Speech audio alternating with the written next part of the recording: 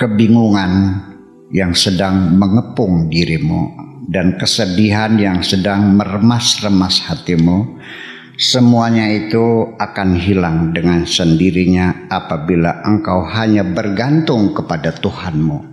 Karena kehidupan ini sesungguhnya adalah kisah perjalanan menuju Tuhan. Kita semua adalah para musafir. Suka atau tidak suka, kita harus terus melangkah setiap orang yang tenggelam dalam cinta kepada Tuhannya, betapapun besarnya ujian dan cobaan hidup, tidak akan dapat menggoyahkan jiwanya, melainkan semakin menambah dekat dan semakin tenggelam dalam cinta.